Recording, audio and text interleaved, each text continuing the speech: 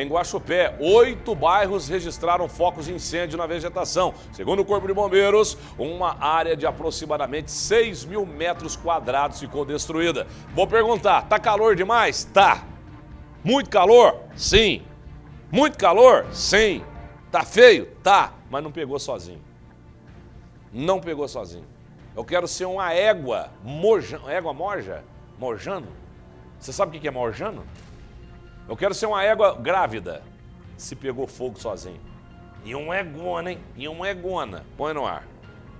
Apesar de já ter passado o período de estiagem, a equipe de combate a incêndios do 2 Pelotão do Corpo de Bombeiros de Guaxupé teve trabalho no último sábado para combater oito focos de incêndio em vegetações da cidade. O trabalho dos militares começou às duas da tarde e só terminou às nove da noite, nos bairros Ouro Verde, Jardim Aeroporto, Nova Guaxupé, Tabuão e também as margens da rodovia MG 450, na saída para Tapiratiba, cidade que fica no interior de São Paulo. Foram usados cerca de 4 mil litros de água, uma área de aproximadamente 6 mil metros quadrados ficou destruída pelo fogo.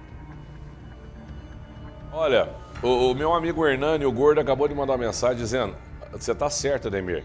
Você tá certo. Ô, Gordo, obrigado pela audiência. Você acha que pegou sozinho?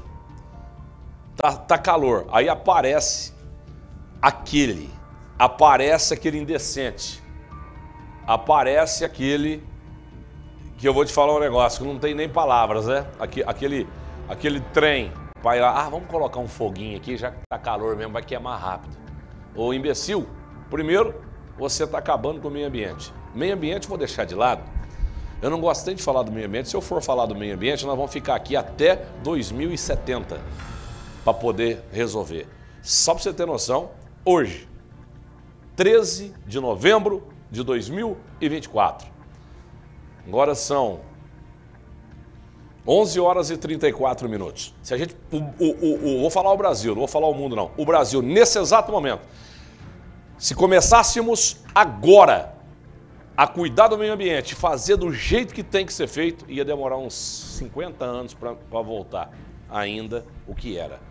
Só para você ter noção, começássemos todos hoje, agora, 13 de novembro. Vamos mudar tudo vamos parar de fogo, de queimada, vamos preservar a, a, a, mata, as árvores, vamos desentupir os bueiros, vamos parar de jogar plástico. Só, só para você ter noção, uma sacola plástica, ela fica 500 anos na terra. Ademir, está errado, 500 anos. O isopor, a mesma coisa. Aí você tem que comprar aquela sacola óxido biodegradável, biodegradável né? Aqui tem conhecimento, Perinho, aqui tem conhecimento. Parece que não, mas eh, bobão é só jeitão de andar. Entendeu? Então, se você usar aquela a, a sacola biodegradável, óxido biodegradável, o que, que, vai acontecer? Ela fica na água, ela se decompõe e vai embora. Mas aí tem gente que fala, ah, não, ela é mais cara. Tudo bem, então vamos pagar, vamos pagar arrebentando o meio ambiente. Né? Vamos pagar arrebentando o meio ambiente. Como diria o apóstolo Valdomiro, estão me perseguindo! Estão me perseguindo, vem comigo. Uma indústria pegou